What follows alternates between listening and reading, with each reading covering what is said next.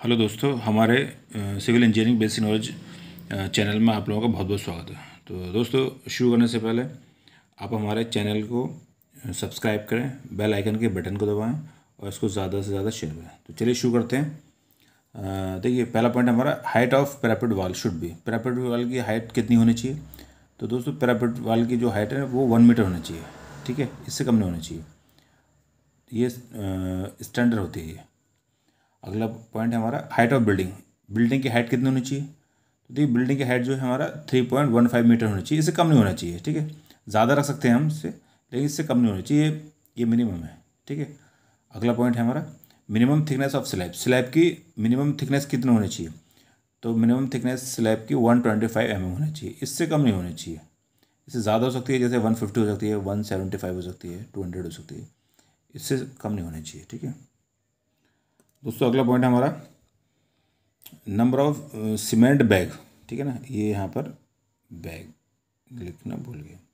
Number of cement bag in one cubic metre तो देखिए, अगर हमारा वन एक वॉल्यूम है one metre by one metre by one metre तो उस तो ये उसका वॉल्यूम निकल गया वन क्यूबिक मीटर तो इसमें कितने बैग होने चाहिए? इसमें twenty eight point eight bag होने चाहिए। उसको हम राउंड ऑफ़ करके करेंगे तो ट्वेंटी नाइन बैग होने चाहिए।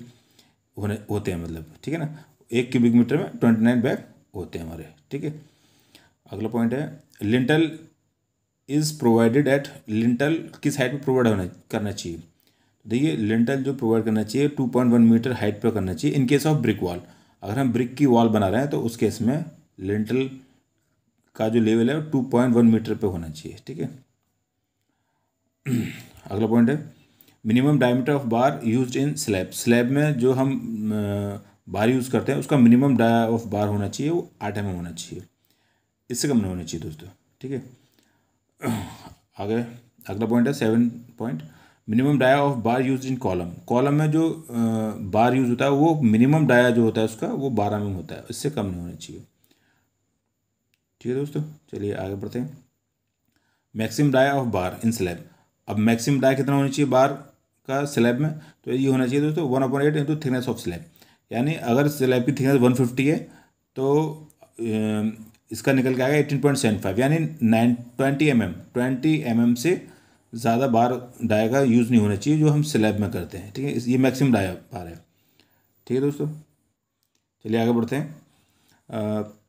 Dimensional tolerance of cube cube में कितना टॉलरेंस होना चाहिए? तो इस, ये है plus minus two M M यानी अगर हमारा क्यूब का साइज़ है one fifty by one fifty by one fifty तो ये 150 है तो 152 हो सकता है या 148 हो, सकता है। यानी दो एम mm ज़्यादा हो सकता है दो एम mm कम हो सकता है। इससे कम ज़्यादा नहीं हो सकता नहीं होना चाहिए ठीक है? तो इसलिए इसका टॉलरेंस टू एम होता है ठीक है ना? एज पर आई एस कोड अगला पॉइंट है minimum number of bars in square and rectangular column rectangular और स्क्वायर कॉलम जो होता है उसमें मिनिमम नंबर ऑफ़ बार कितना होना चाहिए? तो देखिए स्क्वायर कॉलम है। इसमें चार होना चाहिए और इसमें भी चार होना चाहिए। इससे कम नहीं होना चाहिए। तीन या दो नहीं होना चाहिए इस कॉलम में। ठीक है? अगर हमारा स्क्वायर कॉलम है तो उसमें छः होना चाहिए। एक, दो, तीन, चार, पाँच छः छः होना चाहिए। इससे कम नहीं होना चाहिए, अगर हमारा स्क्वायर कॉलम है। चलिए आगे बढ़ते हैं। Least count of compass compass का लिस्ट काउंट कितना होता है? तो ये होता है थर्टी मिनट कंपास का लिस्ट काउंट ठीक है? इससे कम वैल्यू नहीं होती है। ये मिनिमम वैल्यू होती है कंपास की। अगला पॉइंट है स्टैंडर्ड साइज़ ऑफ़ ब्रिक तो दोस्तों ब्रिक स्टैंडर्ड साइज़ जो होता है वो क्या होता है? तो देखिए ये साइज़ होता है one ninety by ninety by ninety M M ठीक है ना? एम एम में ये साइज़ होता है। तो ये कुछ थर्टीन पॉइंट से जो आपको बताना ज़रूरी था, आपको आना चाहिए। तो हमारे इस वीडियो को लाइक करें, अगर अच्छा लगा है तो इसको सब्सक्राइब करें, ठीक है ना? और बेल आइकन के बटन को दबाएँ ताकि कंटिन्यू वीडियो आपको मिलती रहे और आपकी नॉलेज बढ़ती रहे, ठीक है? तो चलिए आप आपसे हम विदा लेते हैं। अगले वीडियो में मिलते हैं। Thank you